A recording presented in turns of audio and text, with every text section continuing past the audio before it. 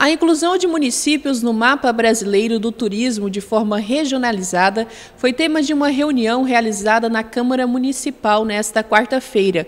O turismólogo da Secretaria Adjunta de Turismo do Estado de Mato Grosso, Leandro Lima, explica que essas reuniões estão ocorrendo por todo o estado, com o objetivo de mostrar aos municípios como é possível pensar o turismo de forma regionalizada para que os recursos governamentais possam ser recebidos. Primeiramente, a gente está fazendo um trabalho de atualização e falando da importância das instâncias de governança, que é a EGR.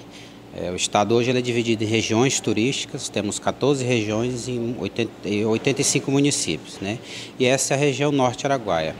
É, nesse momento a gente tá, conta com cinco, cinco municípios e aí a gente vem fazendo um trabalho de planejamento é, para que esses municípios possam trabalhar de forma regionalizada. E aí estamos visitando né, todas as regiões no estado, já estamos já na fase final, iniciamos em outubro e a partir daqui vamos já para uma outra região e aí tentar com esse pessoal dar um passo a mais né, para que o turismo aconteça de forma é, organizada.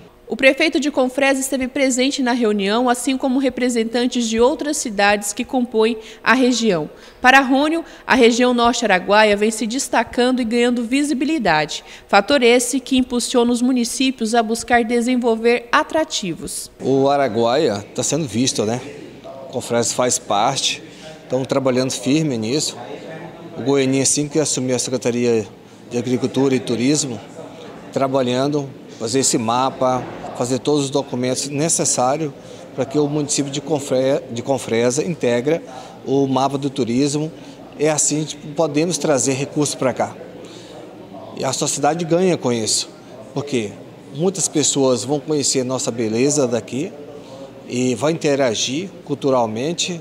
Também tem a questão também dos índios, tem lindas cachoeiras, tem cultura rica, a cultura indígena também, como os outros municípios município de Vila Rica, São Félix do Araguaia, Santa Cruz, enfim, Santa Terezinha, todos estão nesse mesmo contexto. Então a região norte Araguaia ganha com isso, nessa organização, nesse trabalho. Então hoje está sediando aqui esse fórum, né? Então o pessoal aqui do Estado, então parabenizar o Estado, parabenizar as pessoas que acreditam nessa região.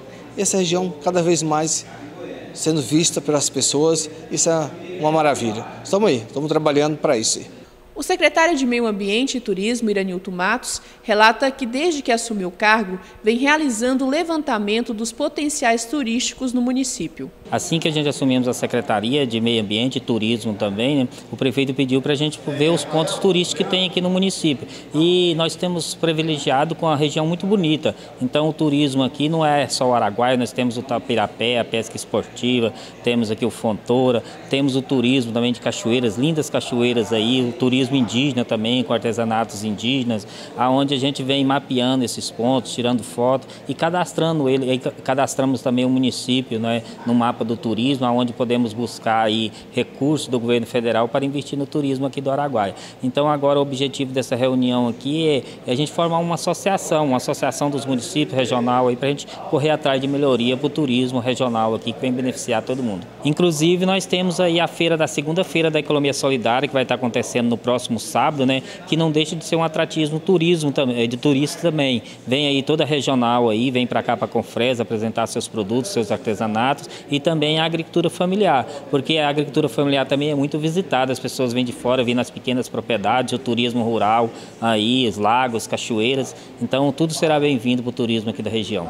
Diante do interesse dos municípios em alavancar o turismo regional, Leandro Lima ressalta que a formação de uma associação a nível regional vem fortalecer e facilitar as ações dos municípios para desenvolver o turismo. O programa de regionalização ele é do Ministério do Turismo, na qual a gente faz parte, o Estado, para poder estar disseminando isso nos municípios. É, a associação ela, ela vem estar tá, tá para juntando não só o poder público, mas também as instituições é, privadas do Sistema S e os prestadores em si, esses que são os meios de hospedagem, agências, transportadoras, quem realmente trabalha com turismo.